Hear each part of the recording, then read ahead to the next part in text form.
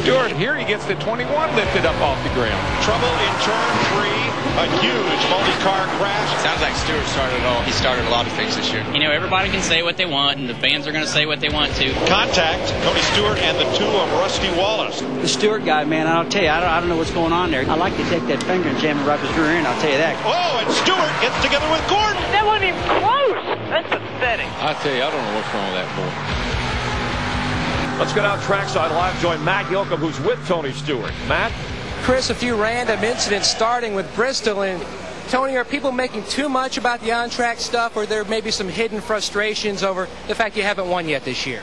Ah, there's no hidden frustrations. I, I think the people that are blowing it out of proportion are, uh, you know, Mike Joy and Larry McReynolds and Darrell Waltrip in the booth. Nobody else has been complaining about it. Uh, you know, Darrell, or not Darrell, but Rusty and I talked uh, when we saw each other, uh, you know, two days ago at the airport, and we were just kind of laughing about it and shook hands and went on. And, you know, our fans at Sedalia, Missouri, and uh, and uh, Knoxville, Iowa, that came out to watch us run the sprint car, they stood out in the rain for a half hour in, in the rain to get autographs. So. Uh, I just it's funny. I keep watching the replays of the race after I get home and listening to Darrell and Mike Joy and McReynolds. It's like uh, you, you, keep watching the screen, waiting on Tattoo to come by in his little white tuxedo, welcoming everybody to Fantasy Island.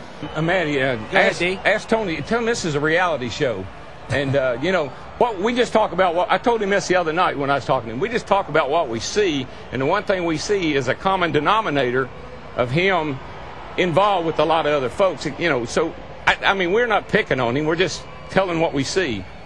DW says, Tony, that he's not picking on you. He just is seeing what the video shows. Yeah, I know. Darrell's memory kind of gets a little screwed up sometimes. I guess he forgets that with all the rule changes he wants NASCAR to make, he forgets that if they changed the rules and took the champions provisional away, he wouldn't have been able to race the last two years. So uh, uh, I know Darrell's doing what he has to do in his job, but uh, I think there's a lot of times what you see on the screen isn't the whole total story, and I think they've uh, I think they've done a real good job in the booth of blowing things way out of proportion like they normally do. I guess that's probably what they need for ratings, which uh, I think our sport's doing a pretty good job of ratings without having to butcher up uh, what they see on the screen.